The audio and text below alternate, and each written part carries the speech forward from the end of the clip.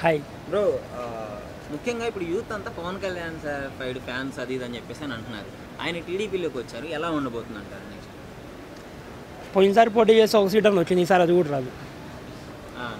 ఎందుకంటారన్న? అదంతే. ఏం చెప్తా ఇంకా జగన్కి చూస్తున్నారు ఆ బండి ఒకసారి చూడండి. ఆ, బండి మీద నూట డెబ్బై ఐదు అని ఉంది. ఇంకా మనుషుల గుండెలు నూట డెబ్బై ఐదు కాదు నూట ఎనభై కూడా వేస్తారు అవసరం అయితే అట్లుంది ఈసారి పరిపాలన. ఏంటి ఇప్పుడు టీడీపీలో కలవడం వల్ల ఓట్ బ్యాంకింగ్ పెరగలేదంటారా? టీడీపీ కావచ్చు పవన్ కళ్యాణ్ గారికి కావచ్చు. పోయినసారి TDP vote bank. Forty five percent forty percent ఉందన్న. ఈసారి పవన్ కళ్యాణ్ కలవడం వల్ల ఫార్టీ ఫైవ్ నుంచి థర్టీ ఫైవ్ దిగింది. ఇంకో సంవత్సరం ఇంకో మా అయితే మూడు నెలల లక్షల టైం ఉంది. ఆ మూడు నెలలు ఇంకో పది పర్సెంట్ డౌన్ అయింది టీడీపీకి. జోగి జోగి రాల్చుకుంటే బూడిద రాలిందంట. ఆయన ఒక జోగి ఈయన ఒక జోగి. ఇద్దరు రాల్చుకుంటే ఆ బూడిద మేము ఎత్తుకోవాలి తర్వాత. వార్నింగ్ల మీద వార్నింగ్లు ఇస్తున్నారు కదా బాలకృష్ణ గారు తొడగొడుతున్నారు. చెప్పులు చూపిస్తున్నారు. వాళ్ళు నన్ను చూపించుకోండి. ప్రతి సంక్రాంతికి అల్లుళ్ళు వస్తారు. ఈ సంక్రాంతికి మొగుడు వచ్చాడు. ఆ మొగుడే జగన్మోహన్ రెడ్డి. ఆ, రఫాడిస్తాడు ఒక్కొక్కరిని? అందరికీ మొగుడే. మొగుడు కూడా కాదు రంకు మొగుడు. ఫార్టీ ఇయర్స్ ఇండస్ట్రీ అని చెప్పుకునే ఆయనకి నలభై ఏళ్ళ యువకుడు చుక్కలు చూపిస్తున్నారంటే దాన్ని బట్టి అర్థం చేసుకోండి ఇంకా ఎవరు ఎవరికి చూపిస్తున్నారో ఎవరు ఎవరికి లెజెండ్ అని. కావాలని కేసులు పెడుతున్నారు అంటున్నారు కదా. ఏం నేను తప్పు చేయకపోయినా నన్ను ఇట్లా చేశారు అని చెప్పేసి వాళ్ళు అట్లా చెప్తున్నారు కదా. అప్పుడు కూడా కేసులు పెట్టారండి జగన్మోహన్ రెడ్డి గారి మీద. పదహారు నెలలు జైలు చూపించాడు. ఆయన వచ్చి బయటకు వచ్చి గగ్గోలు పెట్టాడు. ఆయనలాగా మీడియా ముందు ఆయన ఏడ్చాడా? మగోడిగా కేసు ఎదుర్కొన్నాడు పదహారు నెలలు ఉన్నాడు వచ్చాడు ఎలక్షన్లో పోటీ చేశాడు గెలిచాడు. మీరు అవును ఉంటే నెక్స్ట్ ఎలక్షన్లో పోటీ చేసి చూపించండి. ఇది మా మగతనం అని చెప్పి. అంతేగాని మీడియా ముందు ఏడిచి మేము తప్పు చేయలేదు మేము తప్పు చేయలేదంటే తప్పు చేసిన ప్రతి ఒక్కరు చెప్పే మాట మేము తప్పు చేయలేదని. ఇంకా ఆయన తప్పు చేయలేదంటే ఎట్లా నమ్ముతారు? ఎన్టీఆర్ని పొడిచి నేను మొడవలేదంటే ఆ. నమ్మి నమ్మి ఆయనకు ఓట్లేసే అంతలో జనం ఎవరు లేరు. అసలు ఇప్పుడు మూవీ హీరోస్ చూసుకుంటే ఎన్టీఆర్ గారు చంద్రబాబు గారు ఎంత పే చేస్తున్నా అది ఆయన పట్టించుకోలేదు ఎన్టీఆర్ గారు. దాని గురించి ఏమనుకుంటున్నారు అసలు? ఎన్టీఆర్ గారు రాలేదు ఒక్కసారి కూడా. ఎక్కడికి రాలేదంటారు? చంద్రబాబు గారు అరెస్ట్ చేసినప్పుడు కానీ ప్రెస్ మీట్ కానీ దాని గురించి స్పందించలేదు. అసలు ఆయనకు అంత అవసరం ఏముందండి? స్పందించాల్సినంత అవసరం ఏముంది? అమిత్ షా లాంటి వాడే ఆయన దగ్గరకు వచ్చి ఆయన గొప్పతనం ఏంటో తెలుసుకుంటుంటే ఆయన వచ్చి చంద్రబాబు దగ్గరకు వచ్చి దిగజారిపోయి మా బావగారిని అరెస్ట్ చేయడం మా బాబాయ్ గారిని మా మావయ్య గారిని అని వాళ్ళ చుట్టాలు అరెస్ట్ చేసి ఆయన వచ్చి ఎందుకు స్పందిస్తారు మీరు అనుకుంటున్నారు ఫస్ట్ బాలకృష్ణ గారిని అడిగితే వచ్చిన వాళ్ళే మా వాళ్ళు వేరే వాళ్ళతో మాకు సంబంధం లేదన్నట్టు ఆన్సర్ ఇచ్చారు ఎన్టీఆర్ గారి గురించి ఆయన అంటే బాలకృష్ణ గారు అంటే వాళ్ళ కూతురు లోకేష్ గారికి ఇచ్చారు కాబట్టి ఆయన నంది అంటే నంది పంది అంటే పంది. ఇంకంతే మనం ఏం చెప్పలేం దాని గురించి. Okay. So one seventy five target అయితే రీచ్ అవుతుంది అంటారా వన్ సెవెంటీ ఫైవ్ అయితే వన్ సెవెంటీ రీచ్ అవుతుందండి. లేని పక్షంలో గవర్నమెంట్ అయితే ఫామ్ చేసే జగన్మోహన్ రెడ్డే. ఇదైతే పక్కా రాసి పెట్టుకోవాల్సిందే. జగన్ గారు అయితే ఈసారి కన్ఫర్మ్ అంట కన్ఫామ్ డౌటే లేదు దాంట్లో. ఓకే. ఆయన? ఓకే. నెక్స్ట్ రాబోయే ఎలక్షన్లో జగన్ గారు గెలిచే అవకాశం ఉందంటారా లేదంటారా? నూటికి వంద శాతం ఉంది. ఓకే. ఇప్పుడు జగన్ గారు ఇచ్చే పథకాలు బేస్ చేసుకొని గెలుస్తాడంటారా? లేదంటే అంటే టీడీపీ వాళ్ళు అంటున్నారు వాళ్ళ నాన్న పేరు చెప్పుకొని గెలిచాడు జగన్ గారు అని చెప్పేసి నన్ను అంటున్నారు.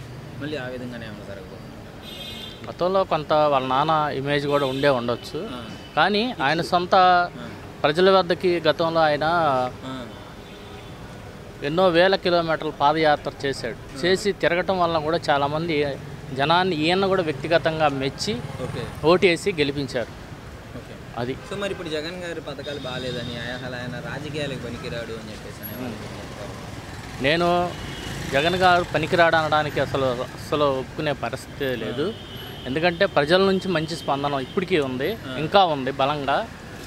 రెండోది ప్రజల వద్దకి కుటుంబం వద్దకి పరిపాలన అందించి కుటుంబంలో ఏ సమస్యలు ఎవరి దగ్గర ఏమేమి ఉన్నాయో ప్రతి వాలంటీర్ ద్వారా ప్రతి అధికారి గ్రామ సచివాలయ అధికారి ద్వారా తెలుసుకొని ప్రతి కుటుంబానికి మేలు చేస్తున్నారు. అది టౌన్ కానీ లేకపోతే పల్లెటూరు కానీ తదితర ప్రాంతాల్లో ఏదైనా సరే ప్రజల వద్దకి పాలన తీసుకొచ్చి ప్రతి కుటుంబానికి ఆయన ప్రతి ఏదో ఒక ఫలాన్ని అందించి ఏంది ప్రజల మెప్పును పొందాడు ఆయన గ్యారంటీ గెలుస్తాడు. ఓకే. సో ఇప్పుడు మరి పవన్ కళ్యాణ్ గారు చంద్రబాబు గారు ఒకటైపోయారు. బాలకృష్ణ గారు తొడలు కొట్టి నెక్స్ట్ మాదే పార్టీ. ఈసారి వైసీపీ లేకుండా చేస్తామంటున్నారు దానికి ఏం చెప్తారు? అది పార్టీలు అనేకమైన మనం చెప్పొచ్చు. ఇప్పుడు ఎవరి పార్టీ వాళ్ళు మేము అది ఇది అని చెప్పుకోవచ్చు. మేము. అందరం కలిసాం గుంపుగా వస్తామని కానీ ఈయన ప్రజల్లో నుంచి వచ్చాడు. ప్రజలు వారు సొంతగా ఆ యొక్క లబ్ధిని పొంది వారు ఫీల్ అయ్యి ఓటేయడానికి రేపు సిద్ధంగా ఉన్నారు. అది రేపు ఓటేసి మళ్ళీ జగన్మోహన్ రెడ్డి గారిని గెలిపించాలని ఇంకా ఉత్సాహంతో ఉన్నారు. ఎందుకంటే ఎందుకంటే పెన్షన్ దగ్గరికి వస్తే ముసలి వాళ్ళు ఎక్కడికో వృద్ధులు పోయి పడిపోయి కింద పడి ఏంది చనిపోయిన పెన్షన్ కోసం పోయి చనిపోయిన సంఘటనలు ఉన్నాయి. కానీ ఇప్పుడు ప్రజల వద్దకి ఇంటి వద్దకు వచ్చి తెల్లారుజామున వచ్చి పెన్షన్ ఇస్తున్నారు ముసలి వాళ్ళకి.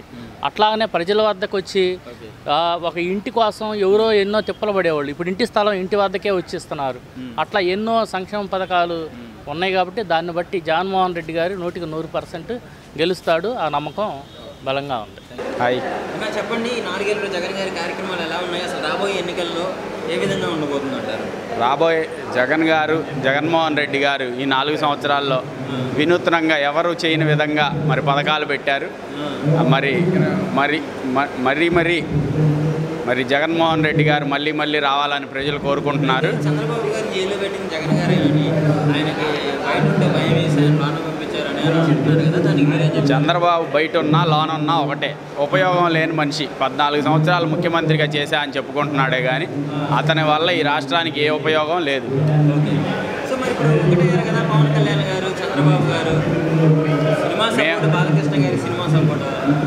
జగన్మోహన్ రెడ్డి గారు వైఎస్ఆర్ కాంగ్రెస్ పార్టీ మొదటి నుంచి చెప్తుంది. పందులే గుంపుగా వస్తాయి సింహం సింగిల్గా వస్తుంది. అదే పద్ధతిలో మేము నెక్స్ట్ ఎలక్షన్కి వెళ్ళబోతున్నాం. వాళ్ళు బాలకృష్ణ పవన్ కళ్యాణ్ చంద్రబాబు ఇంకె ఇంకెంతమందిని తెచ్చుకుంటారో తెచ్చుకున్నా మేము మాత్రం సింగిల్గానే వెళ్ళబోతున్నాం. వన్ సెవెంటీ ఫైవ్కి వన్ సెవెంటీ ఫైవ్ కొట్టడం ఖాయం. కుప్పంలో చంద్రబాబు ఓడిపోవటం ఖాయం. చంద్రబాబు ఓడిపోవటం ఖాయం. మంగళగిరిలోనే కాదు ఎక్కడ పోటీ చేసినా నారా లోకేష్ పవన్ కళ్యాణ్ కూడా ఓడిపోవటం ఖాయం. లోకేష్ గారు ఆ, ఎమ్మెల్యేలందరినీ కట్టల మీద తిప్పుతా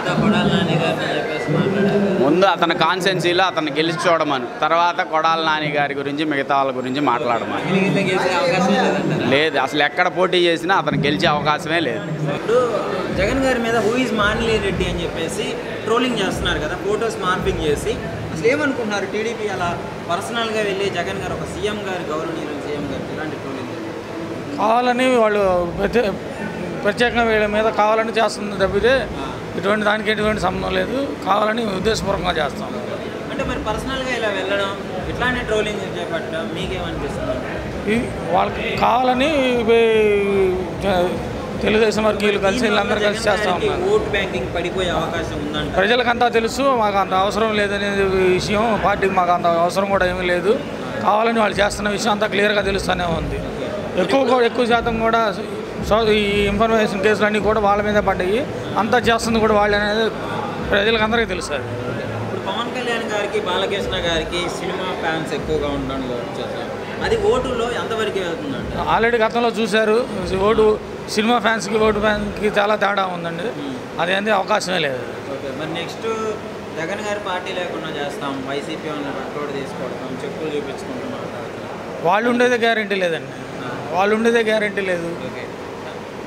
మరి చంద్రబాబు గారు జైలు విషయం ఏమంటారు? చట్టం తన పని చేసుకుపోతుంది. చంద్రబాబు గారు ఏమీ చేయకుండా అన్యాయంగా ఇరికించిందేం లేదు. వాళ్ళు హైకోర్టుకి వెళ్ళారు సుప్రీంకోర్టుకి వెళ్ళారు. ఇప్పుడు ఎక్కడైనా కానీ ఇప్పుడు వాళ్ళది న్యాయం అయితే ఎక్కడైనా న్యాయం జరిగింది. అవినీతి సొమ్ము ఉంది కాబట్టి చేస్తున్నారు. వాళ్ళ లక్ష్మీభారతి గారు క్లియర్గా చెప్పారు కదా రెండు వేల రూపాయలు కోటి రెండు వేల కోట్లు ఖర్చు పెట్టారు అనేది నానుడి అది అన్నీ కూడా ఏమీ లేకుండా అంతంత ఖర్చు పెట్టుకోవాల్సిన అవసరం ఏముండదు. అంతంత మంది పద్దెనిమిది మంది న్యాయవాదులు ఇరవై మంది న్యాయవాదులు అవసరం లేదు. నువ్వు న్యాయంగా చేస్తున్నట్టయితే ఒక న్యాయవాది చాలు కదా. ఎలా ఉండబోతుందంటారు గెలుపు జగన్ గారు one seventy five out of one seventy five clean sweep అవుతుంది తప్పకుండా.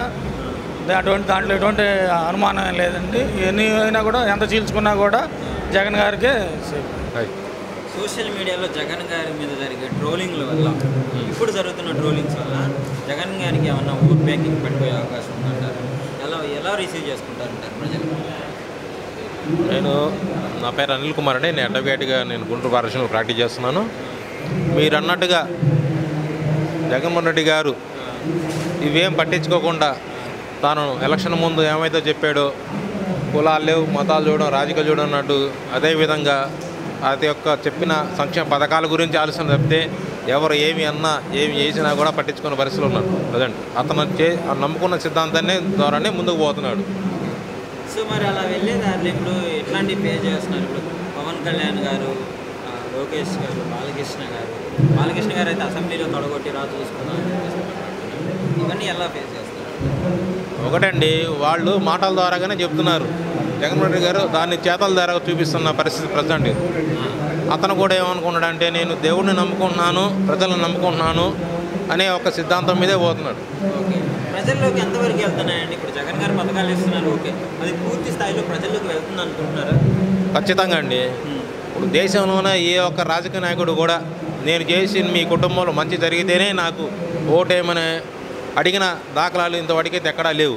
అది ఒక జగన్మోహన్ రెడ్డికే సాధ్యమైంది. మరి అదే ఇప్పుడు పథకాలు సమర్పోతులు అవుతున్నారని పథకాల వల్ల అప్పుల పాలు అవుతుందని రాష్ట్రం అని కూడా చెప్తున్నారు కదా. దానికి ఏం చెప్తారు? సోమరబోతులు అంటే గత గవర్నమెంట్లో పరిస్థితి ఈ గవర్నమెంట్లో పరిస్థితి ప్రతి ఒక్కళ్ళు గమనిస్తున్నారు. ప్రతి ఒక్క ప్రజలు కూడా ఏంటంటే ప్రజెంట్ వాళ్ళకి అవకాశం వచ్చినప్పుడు వాళ్ళు ఏం చేయలేదు చేస్తారు తప్పితే ఎవరు ఏం మాటలు చెప్పినా కూడా ప్రజలకి ఏంటంటే కోవిడ్ టైంలో కూడా ఎక్కడా సంక్షేమ పథకాలు అనేది ఆగలేదు ఎవరు ఇబ్బంది పడలేదు. ఫైనల్గా మరి వన్ సెవెంటీ ఫైవ్ టార్గెట్లో ఎన్ని సాధించగలంట ఎన్ని సీట్లు వస్తాయంట? జగన్మోహన్ రెడ్డి గారు చెప్పినట్టుగా నూట డెబ్బై ఐదు నూట డెబ్బై ఐదు వస్తాను మేము ఆశిస్తున్నాం.